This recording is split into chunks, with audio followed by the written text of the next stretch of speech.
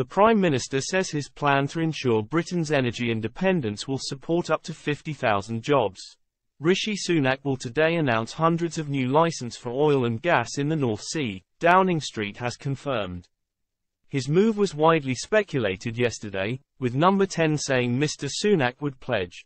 Scotland will continue to be at the forefront of UK government plans to strengthen the UK's long-term energy. This morning they go further, announcing that new domestic oil and gas will not only reduce the UK's reliance on hostile states for energy supply, but aid Britain's move to net zero. Downing Street argues that around a quarter of the country's energy demand will still be met by oil and gas when the UK reaches net zero in 2050, and that domestic production has around 25% the carbon footprint of imported. The move will create 21,000 new jobs in northeast Scotland, while supporting more than 200,000 jobs in oil and gas.